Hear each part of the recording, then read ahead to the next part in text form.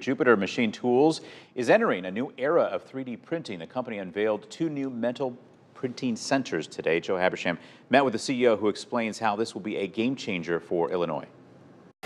Jupiter Machine Tools says the next generation of 3D printing is right here.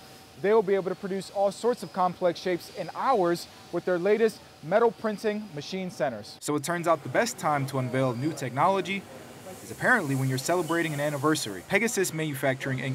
moved to Galesburg 10 years ago. And their sister company, Jupiter Machine Tools, unveiled their brand new line of additive hybrid CNC machines. People are familiar with plastic printers. Well, this one prints metal of all kinds. Jupiter Machine Tools have used automated printing centers in the past and still do today, but the company's CEO, Ray Whitehead, says printing metals will be a game changer. It's important because it changes the way that we manufacture things completely. This has never been done before in this format.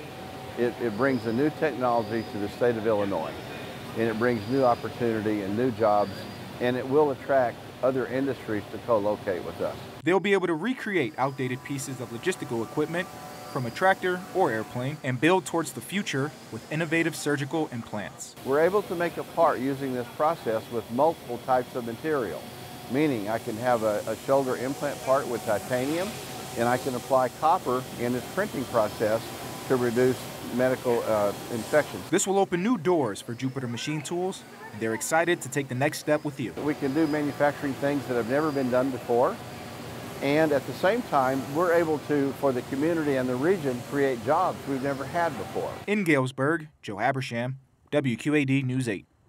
And the veteran-owned company says this new printing method would help cut down production costs and material waste, and they are committed to building these new machines in the U.S.